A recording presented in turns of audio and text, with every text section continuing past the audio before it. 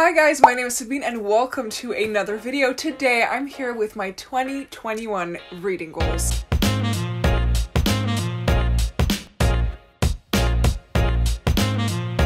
As you guys can tell, this is going to be a quick video because I do not have too many specific goals that I want to get into, that I want to achieve in 2021. In this video, I will be talking about some bookish goals that I have, but also definitely some content goals, some channel goals, stuff like that. So let's just get right into the video. And I wrote down the things on my iPad, so I will have a look at that. so I do participate in the Goodreads challenge, which is a challenge in which you specify the amount of books that you want to read in that year. If you've been following my channel for a little while, you know that I'm quite a slow reader, but also a mood reader, meaning that I don't read as many books as other like book lovers, booktubers do. Some people have a goal to read 100 or even 150 or even more books a year. That's never gonna happen with me. I mean, never say never, as Justin Bieber would say himself.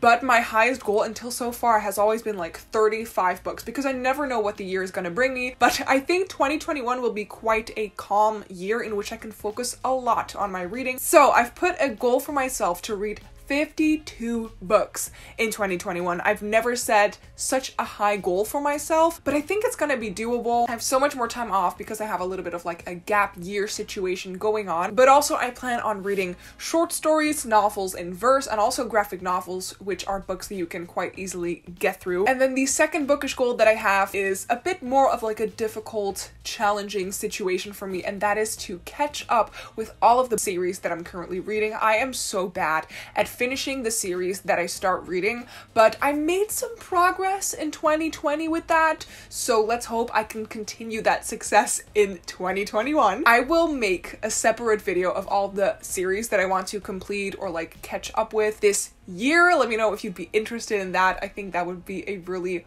fun video. And those were all the bookish goals that I have. Not super specific, but I was thinking of making a books I want to read in 2021 list. But then I was like, those are literally all the physical books that are on my TBR because my physical TBR is getting out of hand. It has been for a couple of years already. Now let's go on to more of my channel goals and one series that I desperately need and want to film this year is Sabine's Cook Nook. If you have watched me in a couple of live shows, I've already hinted at this series and me wanting to start it for a couple of months already, but I'm pushing through with it. And in this series, I want to recreate dishes that have been mentioned in the books that I've been reading. So if you guys have any recommendations or suggestions for books and dishes that you want to see me try and recreate in that video series, then please let me know in the comments down below. Goal number four is to also upload one video every single week, especially during my gap year. Again, for some content creators, this is super easy and they already do this, but over the last years, I have been uploading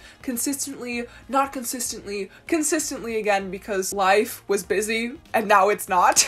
so hopefully I will have lots of time to create content and I'm even hoping that I could post two videos a week. That would be insane. Goal number five is a very simple one, and that is just to restyle my channel. I've had like this channel banner and this profile picture for about two and a half years since Leora from Books with Leo created it for me. She did an amazing job with designing how my channel looks right now, and I'm so happy with it, but it has been two and a half years since I did that, and I and my channel, we've both evolved in those two and a half years, so I feel like it's time to refreshen it. Last goal already is I think maybe the most important, exciting, scary goal that I could think of for myself, and that is to register myself and Sabine's Book Nook at the Kamer van Koophandel. What is it called in English?